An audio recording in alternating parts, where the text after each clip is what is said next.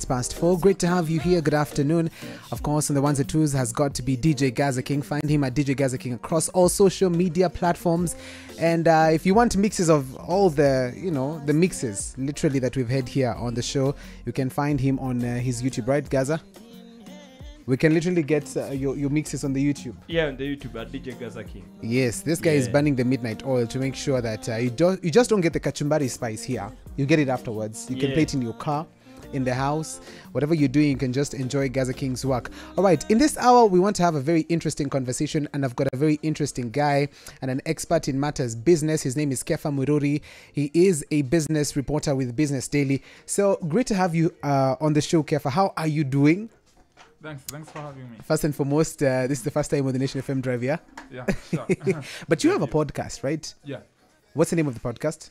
Uh, the name of the podcast is Make Money. Uh, Make so Money, just okay. discuss on how the opportunities that are out there for people to make money. Right. And uh, a- anyone listening can find these on our Business Daily, their website. okay. Uh, yeah, and we usually upload on Tuesdays. We are doing Ah. a series of the first 10, so we have the first 8 up there. Okay. Two more to go. Yeah. Okay. Interesting. So, beginning of this week, uh, there's been a lot of talk on uh, the 3% housing levy in the Finance Bill 2023.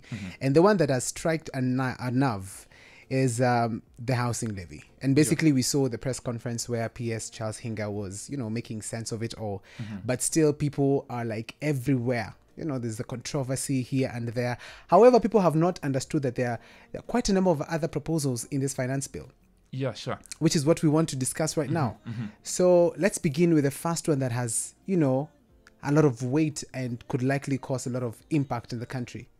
Yeah, for sure. I, I think first is to set the context or the stage for why we have these tax proposals. Correct. So we have a, an upcoming budget that's to be presented mid next month. Okay. Actually, straight uh, right at the mid of the month on June 15. Right. So it's around a 3.6 trillion budget. Okay. And somehow, as always, you know, the government has no money. The money is in our pocket, and Yeah. somehow they have to make those adjustments on, you know, existing tax proposals, so, to, so that we get to know then what are the new tax measures. okay. And so, as part of these tax measures, we, ho- we have what's called the uh, finance bill. Mm-hmm. So, idea is named after the year, so it's the 2023 finance bill. Okay. And so, some of these proposals and uh, that controversial housing uh, levy is also part of those tax proposals. And Correct. it's, uh, part of funding that big 3.6 trillion budget. Absolutely. All right. So let's now head straight into some of the proposals that we have. We'll begin with the digital one. Yeah. What's it? Uh, what's in it, and what does it mean? Yeah, I think the biggest in the digital space, this would be under income tax, would be to digital content creators. Okay. So the influencers, you know, everyone posting so- on social media, paid partnership, and so on. Exactly. So ideally, what this proposing is, uh, it's it's now targeting to go after these guys. Okay. So these guys have not been paying taxes to this point, and it's Wow. proposing a 15% withholding tax. Now, withholding, uh, just as the name sounds, Yes. It, it's a hold on that income that the government wants, and it's proposing at it at 15%. Fifteen percent. Yeah, so ideally, if I'm a content creator, uh, you know, I get a deal, Yes. you know, post and earn say a hundred thousand from it. Correct. Fifteen percent of that would be fifteen thousand shillings, It's going to the government. and that should go to the government, and that's actually one of those proposals that we do have. Yikes. Mm-hmm. That's just one of them. Yeah, All right. As we process on that one, Mm-hmm. let's talk about another one. yeah, sure. So, what else do we have in this bill that we need to actually comb on and get to understand it and not just look at the 3% Yeah, housing yeah. levy? Yes. Yeah, I think the housing levy mostly is because it's affecting pay slips. You know, the three percent, uh, you know, on, on, on gross income, Right. capped at around five thousand shillings. Okay. So split by the employer in half, that would mean two thousand five hundred shillings. Right. and I know a lot of people are interested to know how does that hit on their pay slip. But Mm-hmm. in addition to that housing fund, we have a proposal to hike, uh, you know, the contributions to NSSF. Exactly. Um, uh, sorry, this would be NHIF. Sorry, Uh, so this is the National uh Hospital Insurance Fund. right. So right now the cap is usually around fifteen Mm-hmm, so the the top guy is paying around fifteen hundred. 1500 shillings. They are proposing to go after two point seven percent of your gross income. what? Yeah, and so someone earning a hundred thousand, that would be two thousand, uh, you know, two thousand seven hundred and fifty shillings. So up from fifteen hundred. So again, Yeah. assuming this passes, Uh-huh. then you can expect how the payslip will be looking uh, at the end of July. It's really another, another, another, you know, another deduction and a higher deduction. Well, at that, Exactly. and noting that already we had higher NSSF deductions that Mm-hmm. began uh, at the end of February, right. and already that has been uh. The So this is another So now you anticipate cut, yeah. you anticipate the three percent, and of course there's now the hike in the NHIF. yes, and we, we already had the NSSF hike. So Okay, Yeah, that's, that's- pretty that's interesting. interesting. This is in the Finance Bill 2023. Yeah. All right. There's also the proposal on uh, petro- uh, petroleum tax yeah, uh, products. That is the VAT. yeah. What's in it? So uh, before getting on what's in it, thi- Mhm. this has been pressure uh, mostly from the IMF. So Mhm. they've been wanting to see a standard uh, rate of VAT across the board. IMF so- now International Monetary yeah, Fund. International yes? Monetary Fund. Correct, And uh-huh. what we have is that our standard VAT rate is usually at 16%. Okay. But just to incentivize or to cushion uh, Kenyans a, a little bit, the mm-hmm. government has always, initially, we never had VAT on fuel. So that was uh, VAT exempt. Okay. So then it, the pressure came about and they put it at 8%, or about half of that. Right. Now they're proposing to put it at the standard rate, which would mean 16%. so that's now double. and yeah, and the impact of this, what we've done at the business daily is we've we've run, you know, what would be a mock scenario of if uh, VAT on fuel is to be affected at the full Yes. rate of 16%, Okay. and we would have fuel right around the 200 shillings mark. So super petrol would be around 196 shillings. And you can you can see how what, what that would mean then. It's it's a further hit. It Uh, is a further yeah, hit. And yeah. just the other day, um, on BD, you reported that uh, the price of bread is going up. Yeah. And this, of course, has been impacted by the price of fuel. Mm-hmm. So definitely, we're looking at also hiking of prices in other products Yeah. because literally they depend, especially if it's going through manufacturing, Yeah. they, def- uh, they depend on fuel and stuff. It's definitely going to go high. Mhm. So this is also another big impact. Yeah, and and noting fuel fuel is sort of a standard on every other thing. Mm-hmm. Like you might even go to uh, to, to to where you get your vegetables, Yeah. and you might find that there's an addition 5 bob, 10 bob, twenty bob, Exactly. just because of fuel. Because fuel takes uh, fuel adds to a lot of things. That's so true. transportation cost is there, electricity cost is there when you're talking uh, Yeah. production through thermal sources and so on. So it tends to have the biggest impact, and I think this is one of those I would say dreaded uh, Mm. proposals if it is to pass. Okay. Yeah, yeah, Pretty interesting. Pretty Mhm. interesting.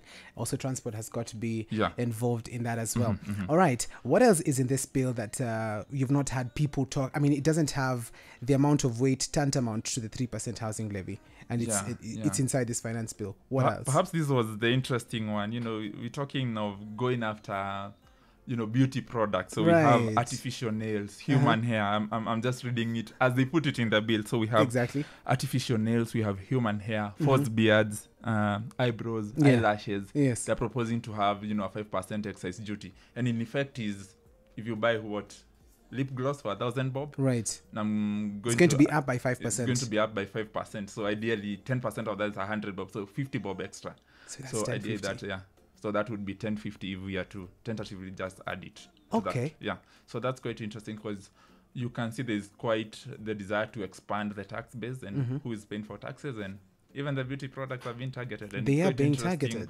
uh, even the wording being used here by the national treasury they, they, they even do know these products you know I mean, it's yeah, it is very interesting considering the fact that now the salon money is going to go up. Yeah, Definitely. definitely As a man, you need to be bracing up yeah, for salon cash to go up. You go get yourself that fake beard. I don't know who you can't uses grow a this. beard now it's tough on you because Even the economy has made sure the beard is not coming out. it's not coming out yeah Eyebrows as well, mm-hmm. eyelashes. So this is literally going to affect a lot of, um, you know, in the Mhm, beauty and mhm. cosmetics Yeah. industry. yeah All right, something also very interesting is uh, they're coming for compensation. Yeah, and uh, th- this quite quite quite it's raised a controversy. If you if you if anyone, anyone has looked at the Business Daily headline today, Mm-hmm. you know what we had on our front pages. Right. We're talking about the controversy that has raised.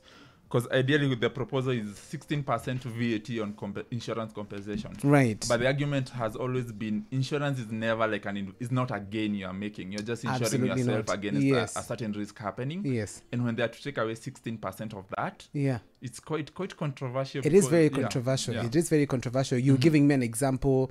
Uh, something happens to your car. They give you the exact same money, right? Yeah, so if you've insured your car for say hundred thousand shillings, Yes. Yes. okay, I know it's it's quite the low valuation, That's very but low, yeah, you know yeah, this, this yeah. is just a scenario we're having, Okay. and uh, so ideally I drive along and something happens, that guy's a write-off. I have to go to for compensation for my my insurance company. okay. Then they pay me a hundred thousand shillings. Yes. but the government wants 16% of yeah, that. 16% of that, which would, would be 16,000. 16k Yeah, and you know, the idea behind insurance is just to get you back to where you to were. where you are. So ideally, then. So I'm these passes, you're where I am. definitely going, but no, you're not definitely not going back to where you are. Mhm. Definitely, you're not. Yeah, so. Well, that's very interesting. That's Mm-hmm. pretty interesting. Of course, you have this story out on uh, Business Daily. If you want to read uh, through, you know, Kepha's work, the headline is the A to Z of the 2023 Finance Bill. This is published on the 11th of May, Yeah. 2023. You can read it through. He has uh, at least touched on quite a number. He's got income tax in it. He's got uh, digital assets tax. We've talked about it. Digital content creators and all that. Three percent housing levy, which I bet every Kenyan now knows about it because it's Yeah. been the TV on the radio. We're talking about it. And the newspaper yesterday, the headline on uh, Daily Nation, it was the good, the bad, and the ugly. So basically, this is something that is very interesting. And then now we anticipate when now people can start talking about it. The MPs can start talking about it. Yeah. You know, they start Yeah. discussing, debating. When is this happening? Yeah.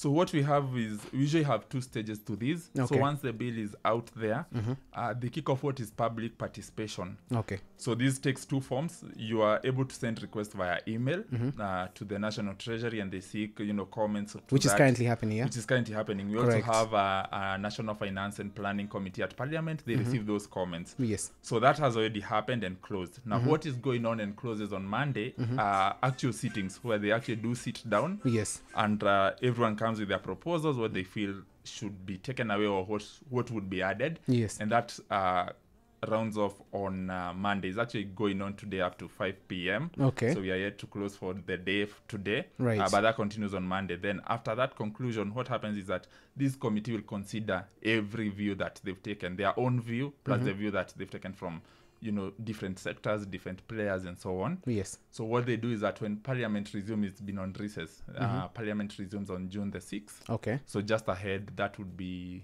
slightly over a week to Yeah, the budget presentation yeah, on, yeah. On, on, on June 15. Right. They prepare a report, and in essence, what they do is we've considered this bill, Mm-hmm.